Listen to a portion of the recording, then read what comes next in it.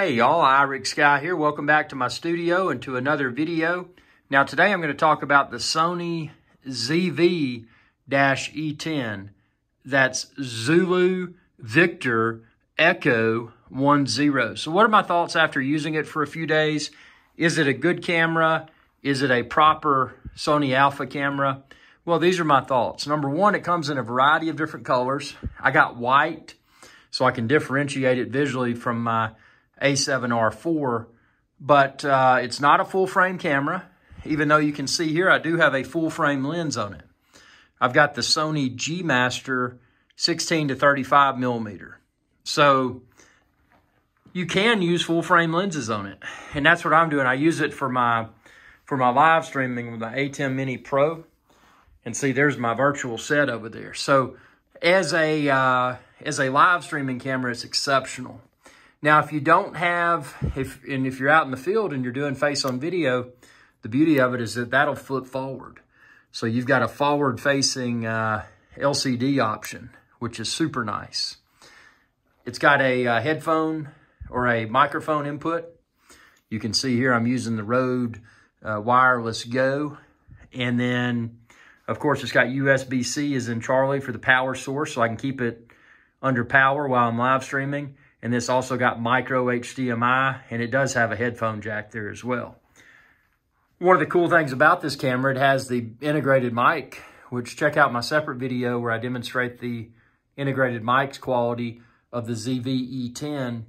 But it's a very sweet package. Now, one thing that I would, this right here, this S and Q button beside the record button, that's kind of wonky how they put that there, but I got used to it. But if you ever inadvertently go into S and Q mode, it's because you push that instead of the record button.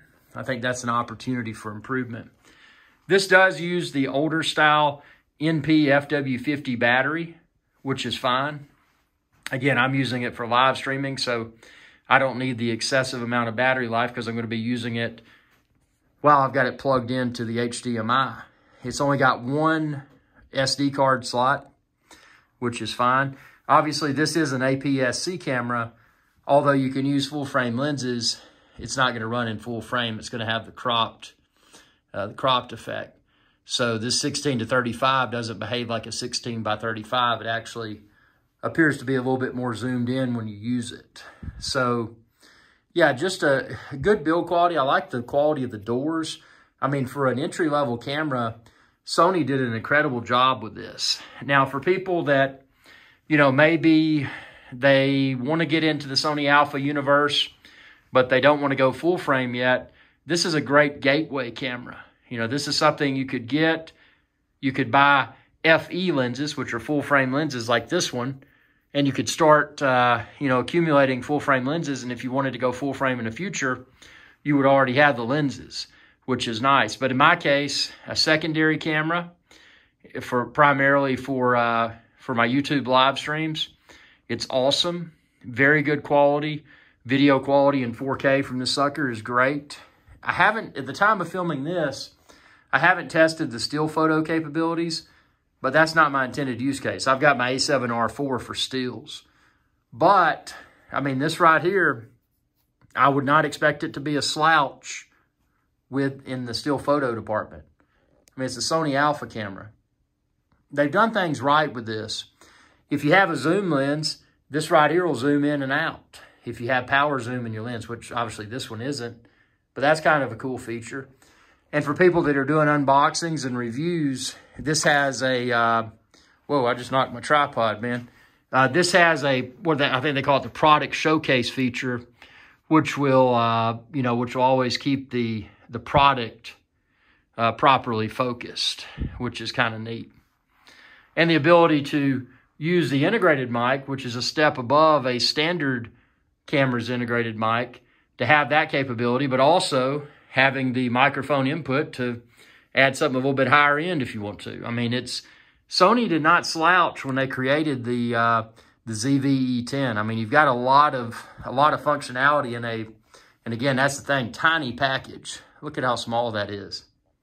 And it comes in black too. I got the I got the white. Like I said, I just want it to visually stand out from my A7R4, which is over there. But yeah, it's it's a it's a great camera. Not just an entry-level camera, But, you know, if somebody's got full frame like I do, if you have situations where you want to have multiple camera angles for video, you know, that's a great use case for this. And again, being so small and so lightweight, it's easy to throw into the camera bag along with other uh, cameras and lenses. So it's not, it's not a, uh, actually it was so light when it arrived, I thought they forgot to put the camera in the box. so it's, it's that light. I mean, it really is. But yeah, great, great job, Sony. The, the one thing I would like to see in a more current revision, I would like to see this with the same type of batteries that the uh, that the full frame A7R4 uses. Obviously, those last a lot longer. But again, with this being APS-C, you can still, from that NP FW50 battery, still get good battery life. But again, for me, live streaming, this is perfect. I can, you know, use USB-C. And I'm glad they used USB-C instead of micro USB. Because, I mean, pretty much all my cables now are USB-C. So that's nice. They got that. And then the micro HDMI is nice. I mean, they've, they put, uh, they put a lot of thought into the design of this. And being able to get it in that white color, like I said, you can get it in black as well, but I thought the white kind of looked cool. You know, you don't normally think of a, of a camera being a white color like that, but it looks cool. If you were considering the, the uh, lens included, you know, the point and shoot or the, you know, the really pocketable camera, which is similar to this, was it ZV100, you probably want to go with this if you plan to maybe get a full frame or another Sony Alpha in the future because it uses the same Sony FE or Sony uh, E lenses, you know, the APS-C or the full frame lenses.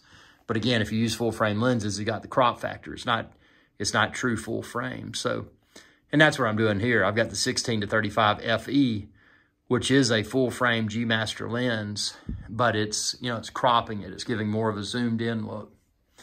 Build quality is nice. It does come with a neck strap. I didn't put that on. Again, I'm using this for, for live streaming. But the video quality during my live streams is exceptional. You know, Sony has done an exceptional job with this camera. For the price, you know, you, it's hard to beat. And the fact that I am in, that I've been in the Sony Alpha ecosystem for many years means I've got a ton of, of Sony lenses that I can use with this. So it's it's uh it's a good camera. It looks nice too. One thing I did want to mention though, I use an IR infrared remote for my uh I don't have it over here. I was going to grab it for my Sony A7R4, but I don't think infrared works with this. I think I'd have to use a uh, a Bluetooth remote, and that's probably something I'm going to pick up. I know I can pair it with my phone, and use Imaging Edge, but it's kind of nice having a dedicated remote. So that that's one thing worth mentioning. Check to make sure, but I haven't found how to, um, you know, how to use an infrared remote with this. I, I'm not sure if it's possible. There's a little light on the front. That's the recording indicator light. And I don't think it has, let's see, let's look at the front of this A7R4 that has that too. It, it can see it's hidden right there.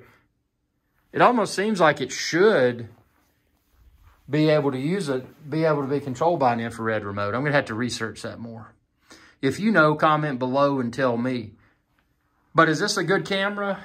Coming from the opinion of someone that's owned and still owns multiple Sony Alpha cameras? Oh, without a doubt. And again, the fact that it's APS-C, don't let you think, don't, don't assume that it means it's inferior because it doesn't. I mean, if you're doing primarily video, this is probably, in my opinion, just as good of an option as the uh, as the full frame Sony Alpha cameras.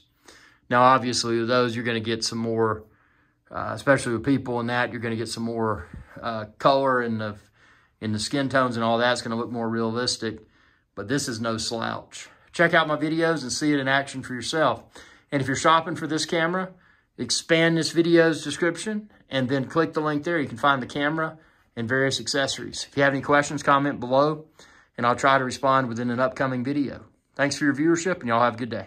Hey y'all, Irix Guy here. I hope you enjoyed this video and please be sure to subscribe to my channel and when you do, ring that bell icon to be notified whenever I post another video. Thanks for your viewership and y'all have a good day.